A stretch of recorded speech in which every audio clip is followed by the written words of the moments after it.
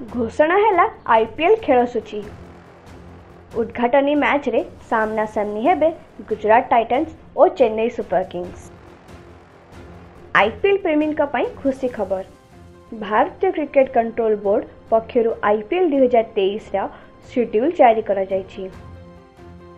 ଏଥର I P ଏଲ୍ର ପ୍ରଥମ tournament March ମାସ ଏକତିରିଶ ତାରିଖରେ ଅନୁଷ୍ଠିତ ହେବ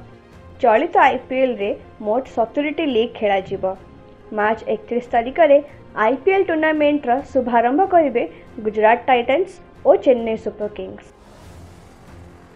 ଆଇପିଏଲ୍ର ପ୍ରଥମ ମ୍ୟାଚ୍ ଅହମ୍ମଦାବାଦରେ ଖେଳାଯିବ ବିସିସିଆଇ ପକ୍ଷରୁ ଜାରି ଆଇପିଏଲ୍ ସେଡ୍ୟୁଲ୍ରେ ଉଲ୍ଲେଖ କରାଯାଇଛି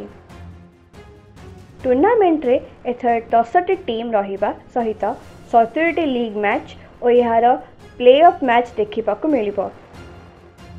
ଏହାରି ଭିତରେ ଅଠର ଦିନ ଦୁଇ ଦୁଇଟି ମ୍ୟାଚ୍ ଖେଳାଯିବ